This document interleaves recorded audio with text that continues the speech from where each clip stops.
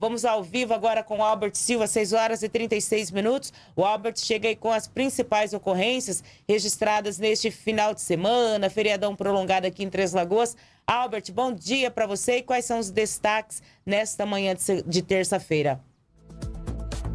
Oi, Ana, bom dia para você, bom dia para o Antônio Luiz, bom dia para toda a nossa audiência, uma excelente semana aí para todo o nosso público, né, para toda a nossa audiência aí que está assistindo aqui o nosso RCN Notícias nessa manhã de terça-feira.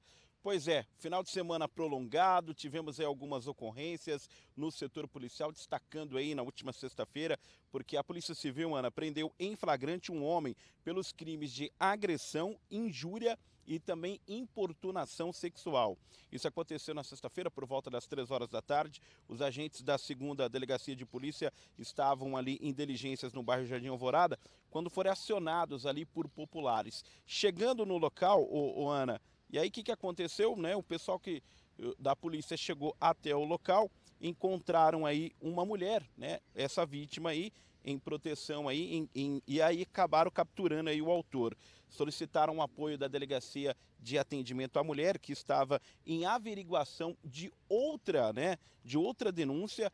Aí o autor e a vítima estavam na residência quando ele passou a mão no corpo dessa mulher, ô Ana, e aí diante da negativa, ele desperiu um tapa no rosto dessa mulher, acabou xingando ela, ele foi conduzido à delegacia de atendimento à mulher Adã, né, pelos policiais, onde foi autuado e encaminhado às celas da DEPAC, né, onde aguardou aí, né, a disposição aí da justiça, portanto, aí mais um caso de violência doméstica que aconteceu aí no fim de semana, Infelizmente, né, Ana, toda semana a gente se depara com esses casos aqui em Três Lagoas, mas a, a Dan tá aí, né? Tá aí de prontidão, tá aí pronto, né, para dar todo o apoio, toda assistência a essas mulheres que vêm sofrendo, infelizmente, violência, né? Violência doméstica aí de seus companheiros, Ana Cristina.